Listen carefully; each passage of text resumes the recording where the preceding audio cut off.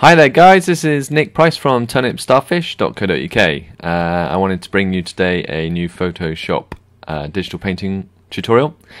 This is a technique called uh, painting in values. Um, lots of artists are using this technique to produce their digital work, uh, and basically they are painting in a grayscale image, and then they will be adding color at a later stage. The idea behind this is that instead of as an artist having to kind of uh, worry about the color and the values of the color in your artwork all at the same time, they worry about just the values of tone and how that creates the best possible image, like how you create uh, the center of attention or the areas of focus in the image through the use of uh, tone and value.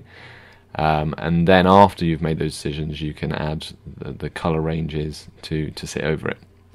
Um, it's best if you watch, and it hopefully will kind of make sense. Okay. So this image I'm using today is just something I've quickly put together for this tutorial.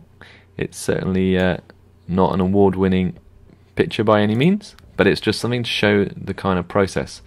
So first of all, uh, I'm just breaking down the structure of the head. The eyes are about halfway down the shape of the head. The nose should be halfway between the eye and the chin and the mouth will be halfway between the nose and the chin. Okay, for this picture I'm just using a standard brush in Photoshop.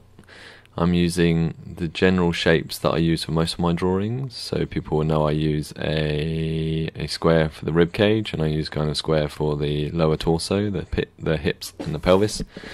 And I'm very quickly just um, putting in the generic body shapes with my eraser tool, I'm just taking out some of my guidelines um, to neaten it up a little bit because I'm going to completely produce this artwork digitally, as you can see. I haven't scanned in a drawing this time. My brushes and my erasers I'm using at uh, probably about a 30% opacity so I get a softness to it so I can rework over it as a sketch. Um, as you can see now, what I have done is I've created a new layer and I'm just putting in a grey wash behind it. I'm being quite carefree about this. I'm just blocking in grey values at the moment. This technique won't work if I've got pure white or pure black as a spectrum of value. So everything um, kind of needs a value of grey to be able to pick up the colour later on. It's a bit weird, but you'll see later on how that works. So to start off with, I just block down a generic grey, and then I'm building up the image. Now, as a as a as a a grayscale image or a color scale image, I'm still thinking about it as a three-dimensional object. So I'm thinking about where my light source is coming from, thinking about each part of the figure as three-dimensional. So I'm thinking about where the light hits, where the bounce light is hitting, uh, where the shadow lies because of the form of the shape.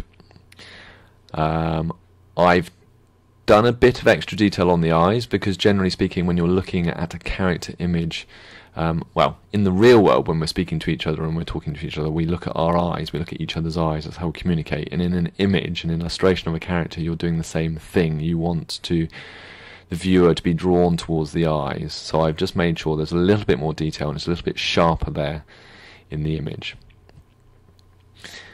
even the hair, people often ask me how do you how do you draw hair? The hair, as I'm just blocking it in roughly, I'm just still thinking it about. I, I talk to everyone as a, to think about hair like it's a wig. It's like a helmet. It's an object on top of the head, and it still has form. So at the first stages, you're certainly always depicting it in that way. So you're thinking about the top, the sides, the front of the form of the hair, and where the light's hitting, and again where the light doesn't hit where there's bounce light uh, and all those elements. That will give you the shape of the hair and then you can build on the detail afterwards. As you can see now quite clearly I'm just blocking in a background value.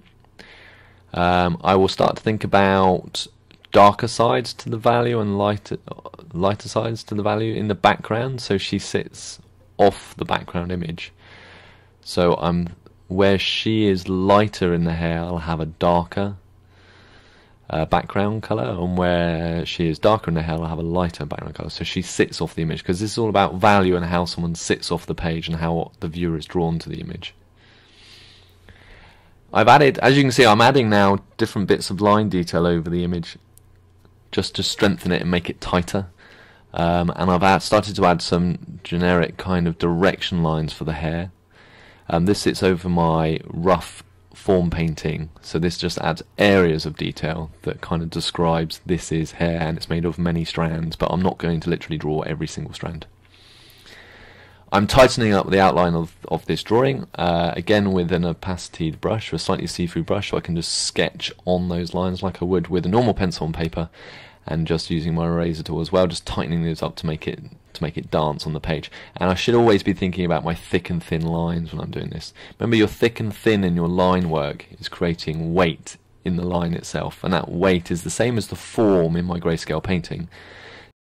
Right, this is where it gets interesting. So I finished my grayscale picture, and now what I've done is created a new level, and I've changed the layer property on that level to color. And this is the clever bit. Now I've done that, I can pick a flat color and just paint in the area of color, and it remembers the values of the grayscale onto the color. And you can kind of see that in the image. Um, it is quite hard to explain, but basically it remembers all the, the lights and the darks of that color. Um, or it doesn't remember it, it puts that on because of the grayscale image I got before. And that's what's quite a quick process for this kind of way of working. And as I said earlier, it's a way of working where you're exploring the values of the image first, so you can decide what you want to stand out in the image and what you want to sit back in the image. And then after you you're happy with those values in the image, you can then just pick your colors and start working them in. And it automatically understands the range of color, and you're just blocking in then those flat colors. So I'm not having to color pick lots of ranges of, for instance, flesh tone. I've got one flesh tone, and it remembers the high the high bits, the, the bits where the light is hitting, the bits where there's some car shadow, etc., etc. When you've worked on this process, actually what people tend to do is then flatten those layers down, and they will then use traditional Photoshop techniques, painting on top of it in, in detail all the ad additional elements that they feel required to make it a stronger image. So, I hope that kind of makes sense, but basically what we just looked at is we create a grayscale image after the grayscale image, which is a, a description of the values of our image to help help tell the viewer of the picture what we want them to look at, so where the center of attention is, what's going on in the image. We then create a new level. We create we create a layer property on that level on the layer property of color, and that allows us to drop color um, just straight underneath the values, and it creates all that tonal kind of color work in one go, if that makes sense. Um, have a go at it if you've used a bit of Photoshop before. It's a really fascinating way of working.